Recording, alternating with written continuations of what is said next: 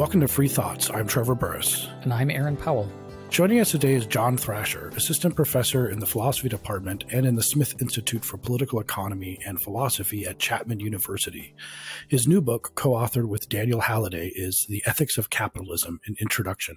Welcome to Free Thoughts, John. Oh, thanks for having me. So your your book is a textbook uh, of sorts, uh, maybe a little bit, definitely more readable than your average textbook, but it's a textbook. What was the intended audience and, and purpose of the book? Well, the intended audience started out as as undergraduates and is still primarily focused on undergraduates, although we think other people will probably get something out of reading it. But the book kind of came about from teaching some classes in this general area and just noticing that basically everyone seemed to hate capitalism for some reason or another. Uh, this seemed to be true on the left and the right. And in the book, we talk about this that if you just, when we first started writing that, we, we entered in on Google um, for an auto completion, you know, capitalism is, and we got up all kinds of lists of things like bad, evil, the root of all evil, you know, slavery, that kind of thing. And so it just kind of puzzled us why, why everyone hated capitalism and then what it is that they exactly hated. Was it capitalism exactly, or was it the status quo, or was it in other kinds of injustice that they were equating with capitalism? And this led us to, to want to ask more kind of detailed and involved questions about capitalism, its ethics, and uh, people's responses to it. This dislike of capitalism certainly seems to have been a long-time feature on the left and you know we're seeing a lot more of it on the right with the especially like national conservatism and the populist movement there. But is this really a new thing? Like do people dislike capitalism or whatever they imagine capitalism to be more than they used to it's hard to say. I mean, I can say from our experience writing the book, when we started writing the book, um, people didn't like capitalism, but it was nowhere near as widespread as it got when we basically were finishing the book and, and um, after we published it. Um, and some of that had to do, I think, with uh, the rise of kind of the nationalist right. So you were kind of getting it from both sides. Um, but it does seem to be more mainstream than before. So when you have outlets, you know, as diverse as Teen Vogue and the Claremont Review of Books, both attacking capitalism, uh, you know that something something is going on. Um, we also started to notice a bunch of other works on capitalism books. So, uh, Thomas Piketty's book, for instance, on capital in the 21st century was very popular. Uh, Antony Loewenstein, uh, Naomi Klein, um, Shoshana Zuboff, uh, Oren Cass on the right. A lot of people were coming out with books. And what we noticed about them was they all had a kind of, there was a modifier to capitalism. So in Piketty's book, he talks about patrimonial capitalism. Loewenstein talks about disaster capitalism. Klein talks about, you know, the shock doctrine and disaster capitalism or surveillance capitalism with Zuboff or, or these kind of things. And what we started thinking is, well, maybe it's just that first modifier that people don't like. It's the surveillance or it's the, you know, the patrimonial aspect or it's the disaster part or whatever. Is it really capitalism that people are objecting to? Um, so then we started kind of digging into that but you're right that people have been hating capitalism since the beginning in a sense. And so one of the questions we wanted to ask when we were writing the book was why did people think that capitalism was a good idea to begin with? Like at some point, people were like Adam Smith, the early political economists, were advocating for capitalism. And of course, there was this great kind of explosion in the early, you know, or mid 18th century on um, that, that we call capitalism. So, why did people think it was a good idea at the time, if indeed they did? And what would those people think today if they were looking at our society? It seems like some of these people and some of the critics you mentioned, um, they describe a lot of things as capitalism. I once heard someone, it might have been Naomi Klein, but don't quote me on that, but someone along those lines described the drug war as capitalism, which struck me as very interesting. Um, but you do hear a lot of things like this where the word is used to invoke almost all wrongs that are in the world today. Um, but so did you to sort of counter that tendency? Did you guys try to define it in a in a more you know just at least so at least some things are not capitalism, such as the drug war, and we can like at least get some idea of what this might be. Yeah, and so this this really was something that was striking to us, both talking to students and you know reading things in the media that just basically anything that people didn't like seem to be identified with capitalism. And and we thought, well, you know, some of those things are probably related to capitalism, but some of them certainly aren't. Like when you hear, you know, racism and capitalism combined, well, racism has existed, you know, for all of human history as far as we know, or slavery has existed, or, you know, sexism or whatever, right? So those can't be caused by capitalism.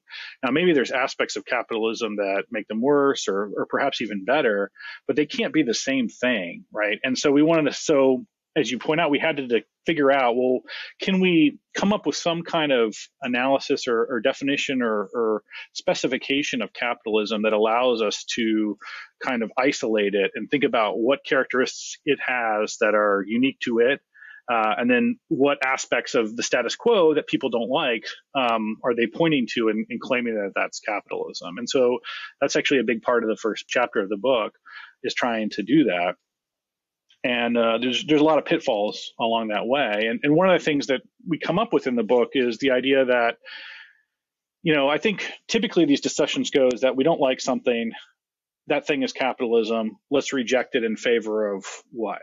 I don't know. Usually socialism, let's say. But we want to say, well, no, there's there's kind of a before capitalism and there's an after capitalism, if you want to think of it in time scale, or we like to think of it as a kind of spatial analogy. We have a triangle in the book. Um, you know, where we have feudalism, which is kind of hierarchical societies, and socialism, which is kind of non-capitalist societies. And then we think about what are the aspects of each, and then we say, well, look, you could identify any moment in the status quo or a moment in time in a different society as being kind of some space in this triangle. It might be closer in some respects to, you know, feudalism or socialism. So then we say there's things in that you might not like about the world around you, but it's just an open question whether those are distinctive of capitalism or not. They might be vestiges of feudalism that are still around, uh, or they might be aspects of socialism or some combination. And so to really figure out what it is that you don't like, what the ethical problems that you're pointing to are, you really need to get clear on what are the distinctive characteristics of capitalism. Is there a difference between capitalism and free markets? Um, like so a, couple a couple of months ago, we had on a guest, uh, Cory Massimino, who calls himself a free market anti-capitalist anarchist. And so, is there is that an incoherent idea, or is there a meaningful distinction? I think that there has to be a distinction in principle between markets and capitalism. So, and this is why. Now, so the, the later question about free markets and anarchism is a slightly different one, but I'll just start with the first, which is that we think that markets have more or less always existed to one degree or another and will exist in basically any institutional framework. So you have markets in prisons, uh, you have markets in illegal goods. Um, you know, you have markets in um, drugs or whatever it might be. You had markets in ancient Rome, right? But a lot of these, I would not say that any of those are distinctively capitalistic in any fundamental sense. So then we ask, well, what is it? What is distinctive of capitalism? So our thinking is that capitalism is the institutional framework around markets that kind of, in some ways, to preserve the openness or functioning of markets. Um, now, that's all very normatively loaded, and so we get pretty specific about what we mean by that. But I would just say that markets in capitalism are never completely free because there's these institutional structures that define uh, various kinds of behavior in the market, what acceptable contracts are, what kinds of things count as property, um, you know, how how much trade and with whom you're able to do. And so we say in capitalist societies, those tend to be kind of those parameters tend to be uh, turned in particular directions, whereas in socialist societies or kind of feudalist non-capitalist societies, they tend to be turned in other directions. Um, I understand the the the um, the aversion to the term on some level because you know as we know in the book capitalism is a kind of i wouldn't say it's exactly a pejorative but it was coined by the opponents of capitalism kind of early on. And so it's not exactly probably a name that you would choose for the system that you're that you're trying to defend. But on the other hand i just can't think of a better word for it. Um, it's just kind of broad institutional framework uh, of the sort that we see in developed and open societies. Uh, that's how I would. I have more specific kind of parameters of what that amounts to, but that was the basic notion um, that we we kind of started with, and then so we started looking. Well, what what features did these types of societies share? And then thinking about, you know, well, what's essential about that and what's not, and then we kind of tried to to zero in on what we thought um, capitalism amounted to. Well, as you point out in the book, the, and you mentioned previously, the the early days of capitalism, before it even had a name, featured various thinkers, Adam Smith probably being the most prominent, John Stuart Mill a little bit later, people like Adam Ferguson too, who who viewed the endeavor of sort of looking at these governing systems in e- economics well, uh, that, although that term itself was a little bit new, they viewed it as sort of a holistic thing encompassing a bunch of different things political philosophy, regular, uh, normal philosophy, economics, and created a justification for capitalism that was a little bit more, I would say, rich than maybe after the 20th century when things get segmented out. Um, is that is that a sort of tradition that you were trying to resuscitate, maybe, or at least like work within to try and bring something back that maybe is a way of talking about capitalism that students today haven't really heard too much? Yeah, that's exactly right. So that was definitely one of our aims. I mean, we look back at the the early uh, defenders, but also in some ways um, like creators of what we think of as capitalism, um, especially Adam Smith, but David Ricardo, John Stuart Mill, a lot of people you mentioned. We talk about these people as we thought of this as the kind of golden age of political economy. And what we mean by that is, as exactly as you were saying, is not these people weren't just economists. And in fact, the idea of an economist wasn't quite around at that time. They, you know, Adam Smith was primarily a moral philosopher, you know, or we might even say like partly a political philosopher. Uh, earlier versions of that, David Hume, one of his friends, was also, you know, a philosopher. Um, John Stuart Mill, certainly a very important philosopher. So these early political economists were certainly concerned about uh, ethics. They were concerned about political theory. They were concerned about uh, what we would probably today call political science, and then kind of economics, business, those kind of things. And so it was a very holistic kind of approach. And uh, so we talk about that in the book. Is we call it political economy, but what we really just mean is um, you know, an, an, approach to economics that also takes seriously a lot of these other questions uh, in terms of ethics and, and, politics. And so today we would probably think of this as uh, a PPE or a philosophy, politics, and economics type approach, um, which I'm very much in that kind of mold. And, and, I know that my co-author is as well. And so we're kind of interested in that uh, fusion and thinking about how the benefits that you can get from looking at you know economic questions with you know a moral lens and political lens. And we're thinking that it's pretty hard to to address a lot of these questions profitably without kind of triangulating in all those different ways. And so we try to do that as much as we can in the book um, and we look back at the history of political economy and type, look at the kinds of questions that these early political economists were were kind of asking and answering to try to see why capitalism seems so appealing and especially appealing and compared to what? And you know we say well looking back to the society before um, or the time the society that was kind of they were moving away from which we characterize as a kind of feudal society but really it's just a hierarchical not very open society kind of the last gasp of these closed societies in europe. And they're they're arguing against that from from a lot of different angles. If you talk to a, a, probably a pretty typical college student today, and so far as they know about Adam Smith as maybe quote unquote the founder of capitalism, it would they would they might conclude that Adam Smith and maybe even John Stuart Mill, but probably definitely Adam Smith was a reactionary, profit driven, uh, kind of business friendly guy. Um, you know, kind of into the creeping into the fascist realm, which is of course how capitalism is often described that doesn't seem to be an accurate depiction of what Adam Smith was actually doing. No, I Adam Smith is a kind of a great revolutionary thinker at his time, I would say. Uh, and that's not just in terms of political economy, but also his thoughts on politics, and I would also say on on um, morality and philosophy generally. So his great friend at the time was David Hume, you know, who's one of the more kind of revolutionary thinkers of all time, I would say. And uh, my interpretation of Smith is that he kind of follows along in, in Hume's footsteps in a lot of ways. You can say the same thing about John Stuart Mill. Now, Mill was a um, political uh, reformer uh, he, he's a complicated figure. Uh, you know, he was on the board of the East India Company for a long time and uh, a manager there, but he was also a reformer in favor of women's rights and contraceptives, and so he's he's kind of all over the place as a lot of these guys are. And, and part of the reason is because their world is changing pretty rapidly. Things are changing, and they're trying to make sense of them, and they're trying to come up with ways to think through this new world that is starting. That you know they're kind of in the birth pangs of, in a sense. And, and Smith probably does this better than anyone else. And the Wealth of Nations, I think, could profitably be read as a kind of blueprint for that world.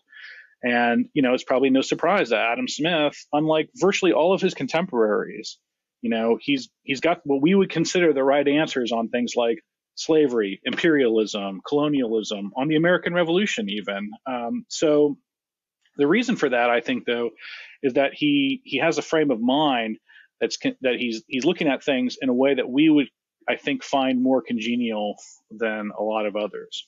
Now, contrast that to to the kind of the hero of the anti-capitalist, which I would say maybe you could pick two, but certainly Marx, probably Rousseau as well. And these are actual reactionaries. I mean, these are people who are reacting against the world that they see emerging around them and trying to kind of either go back to some kind of um, some kind of uh, Edenic past in the in this in Rousseau's sense, or uh, towards a kind of post-millenarian future uh, and, in Marx's sense. And so I basically think that like part of the reason why we focus in the book on a lot of these characters, which we do, so we, we follow uh, a lot of the thoughts of people like Smith and Mill and, and, and even Marx a little bit throughout the book, is to kind of show their train of thought and what they're responding to. And um, students tend to, I think, be surprised when they, part of the thing when we're teaching this book and, and on the website, um, ethicsofcapitalism.com, we have a model syllabus that uh, people can can use to if they want to teach the book. And on that, there's also a lot of uh, primary sources that we teach with the book. So John Stuart Mill and, and Smith. And when students read those, they're often, I think, surprised at how how different these people turn out to be than what their what their kind of cartoonish image of them is. And we try to quote them a lot in the book, although there's you know kind of limits to that. We also found, however, when we were teaching, and one of the reasons why we wrote the book is just that students have a little trouble with some of the primary texts because they're written you know in the 18th century or 19th century, uh, and so sometimes it's important to kind of give them some context for that and part of that is is trying to give them the political and economic context that a lot of these these writers are working in uh, you quote Elizabeth Anderson, who's been a guest on Free Thoughts a couple times, and her quote that said, "Free markets used to be a cause of the left," which is an interesting quote, but also kind of maybe is a little bit difficult because it plays into this left-right distinction, uh, which doesn't seem to make much sense. But at least insofar as we're saying that there was a time when champions of free markets were radical social reformers looking to make the world more egalitarian. I guess in the way that you described, yeah. Exactly. And then, I mean, that's one of the things that we wanted to highlight in the book. Uh, I totally agree with you that thinking in terms of left and right is extraordinarily confusing and I think misleading. And I even like lapsed into it earlier when I was thinking in terms of one dimension of time. And that's precisely why when we're thinking when we were thinking about capitalism and socialism, we wanted to to think about it in a kind of two dimensional, you know, triangular plane, if that makes sense, to think about it in, in slightly different ways. And um, but the point to note is just that the people who cared about capitalism at the outset also cared about what we would consider today things like egalitarianism, uh, sometimes justice, but certainly making people's lives better, giving them more opportunities to live different kinds of lives, uh, expanding their um, expanding what kinds of relationships that they could have or what you know they could think about their their children doing. And so i think it's it's strange today to to for people to kind of miss that aspect of it. And so that was one thing that we wanted we wanted to highlight. But also, you know, we wanted to again bring some of these characters back and think about well, what of their concerns are still live issues today? You know, what are things that they would still have questions about, um, d- despite the kind of um, the changes that have happened. Is there a tension between those things, between capitalism and the pursuit of the various other values that you mentioned, like justice, such that you are eventually going to get a coming apart, a tearing apart there. I'm because I'm thinking of one of the common objections you hear about a capitalistic system is that it's almost in a sense fundamentally anti-ethical that that ethics is about you know figuring out what the right values are in your life and in the world and the actions we can take to pursue those but capitalism necessarily by its very nature reduces value to profits to what you can buy and sell and for how much you know like milton friedman say, you know, a, a, corporation's only responsibility is to maximize profits for its shareholders and kind of all these other things, justice and compassion and respect and the good of people be damned is the way that that gets interpreted. Is that a fundamental tension? Like how can you in a in a system that measures everything based on how much it costs in the market and how much profit you can make by selling it how can you have space for those other values?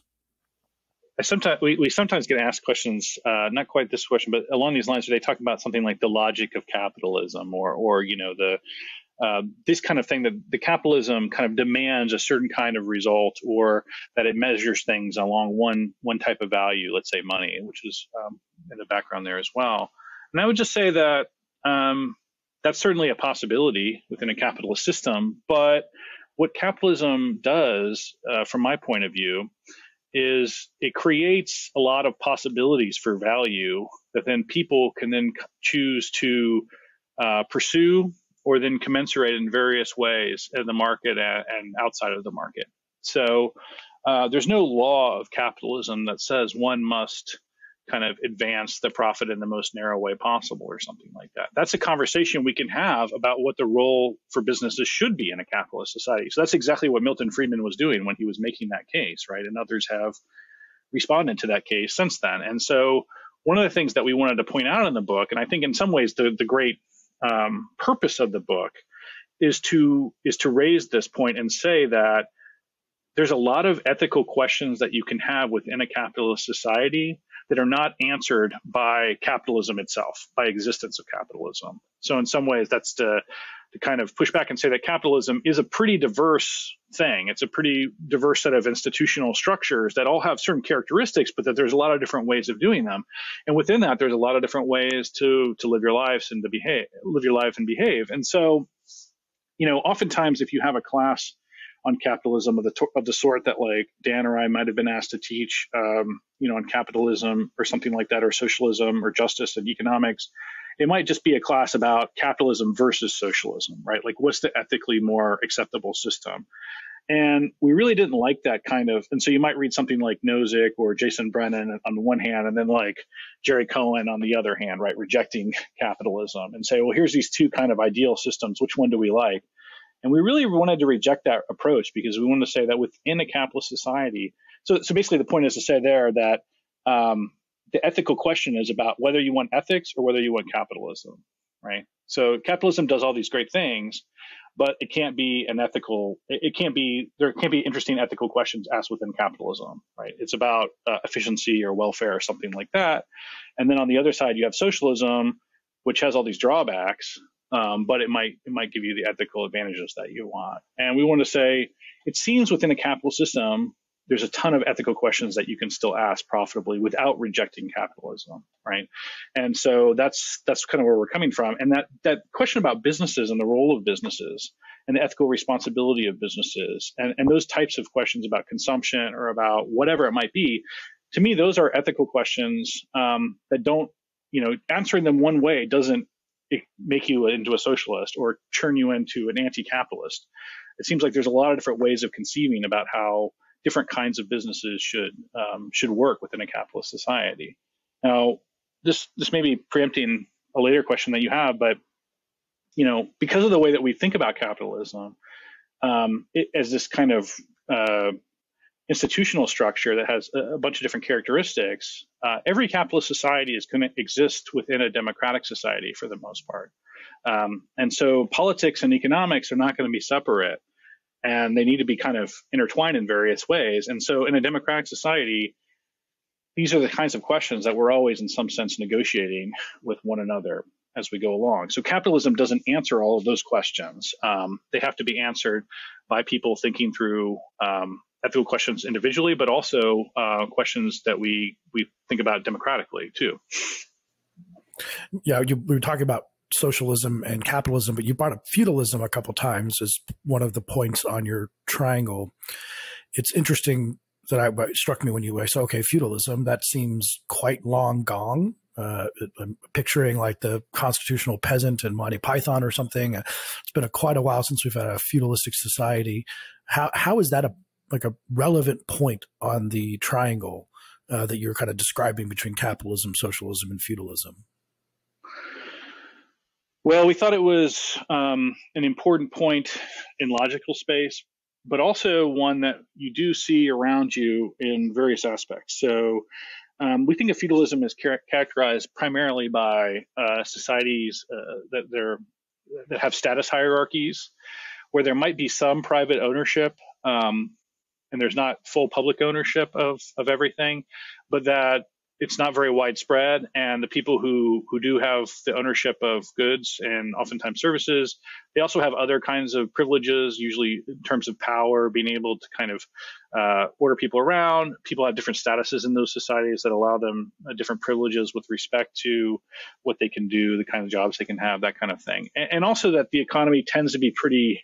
The economy and the political system tends to be pretty closed and, and planned in various ways. Um, so either a small group of elites or or um, you know something like that that's running the show. So we thought that that was important, partly because that's a pro- we think that's a much better characterization of a lot of the societies that existed before capitalism came along, say in Europe, but also a good characterization of a lot of societies that still exist that don't seem to be obviously you know socialist in the way that we might think about it, but that are also uh, not capitalist in the sense uh, that we describe it.